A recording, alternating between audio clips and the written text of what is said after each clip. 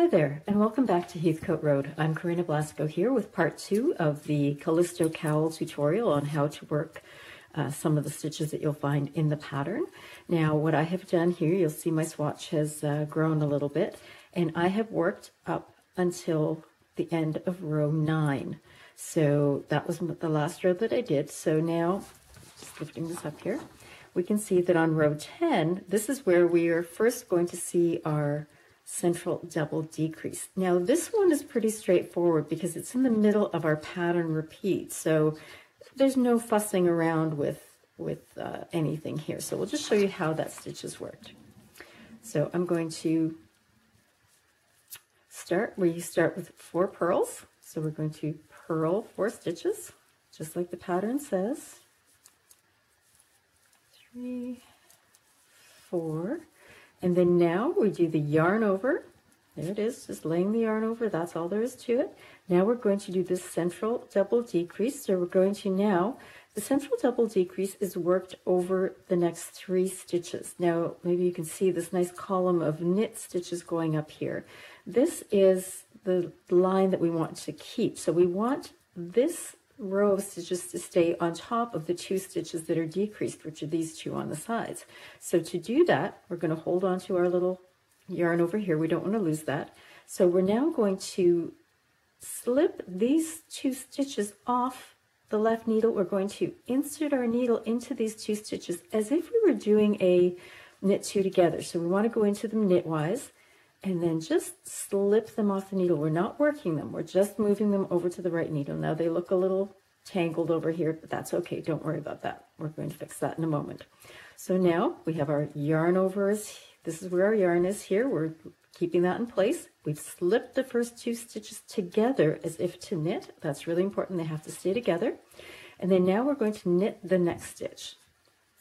Okay, and now we're going to go back. We're going to insert our left needle into the front of these two slip stitches. Again, we're keeping them together.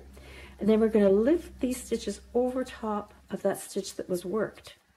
And then we can just give it a little shuffle, a little massage, and there you can see that this nice clean line of this row of knit stitches is maintained, and these other two stitches that were decreased are sitting nice behind there. So now we're going to do that again in a moment. We're going to continue the pattern. So it says to do a yarn over, and then we're going to purl five. So there's my yarn over. Again, that really complicated one to do. And then we're going to purl five. So when we're purling after a yarn over, just hold on to that yarn over so it doesn't go anywhere. Bring your yarn to the front and then just work the purl stitch like normal. So bringing your right needle behind the working yarn and then inserting into the stitch as if to purl, which means bringing it from the right towards the left Wrap the yarn around to create your stitch. You can take a hold of it if you like to help. Draw your needle back through and take that off. And then we'll continue with purls. Two, three, four, and five. Now I am doing these on double pointeds again, which if you were doing the hat, you may be doing this on double pointeds. Um, but normally if you're doing the cowl, because it's so big, you would do them on um, circular needles. So now that's the end of that first repeat. So now we're going to do the same thing again. So we're going to purl four. So purling one, two, three. I'm going to move this out of the way here. Four. And now here we are again. You can see we're ready to set up for our central double decrease because there's three knit stitches in a row here. We're going to do our yarn over. There it is.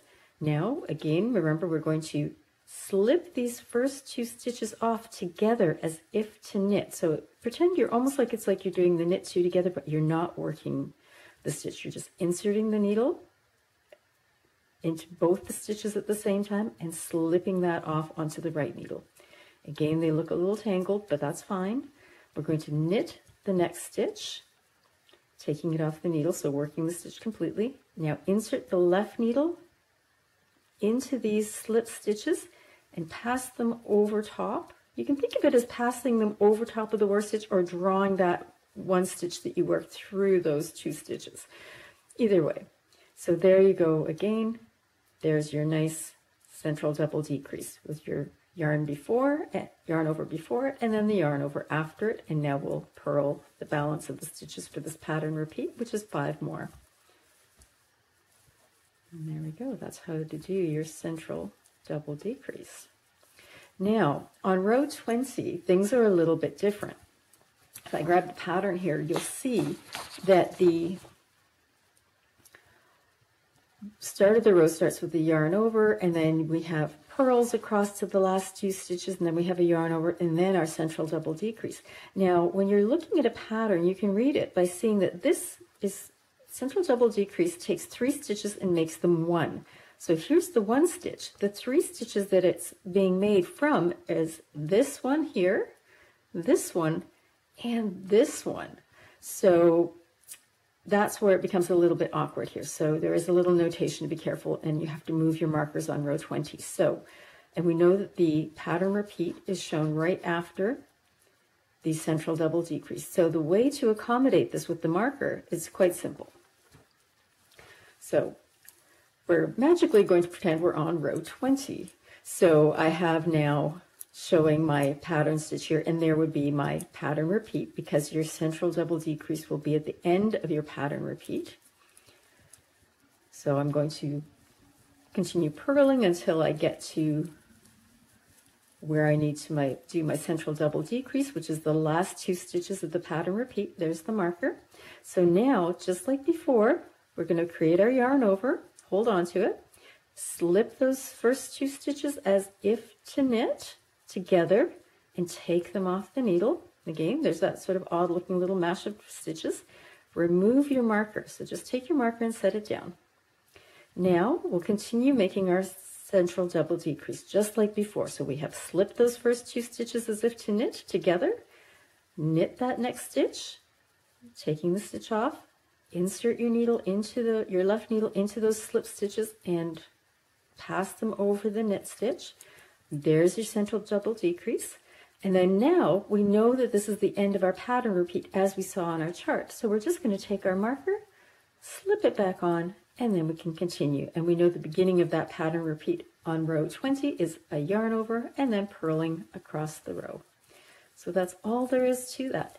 Now you'll do that across all the stitches of the row uh, because if you have if you're using markers after every pattern repeat which is a good idea and use one uh, different marker a unique marker for your beginning of the row so you remember where the beginning of your round is um, until you're really comfortable with working your uh, you know your pattern repeats but it is a good idea to use a different beginning of row marker now you see I don't have a lot of markers on here because I only have three repeats and each needle has one of the repeats on it and like I said we sort of played magic and said, okay, we're all of a sudden on row 20 here, even though we're not. But I just wanted to show you how to do that central double decrease when you're having it straddling over the pattern repeat.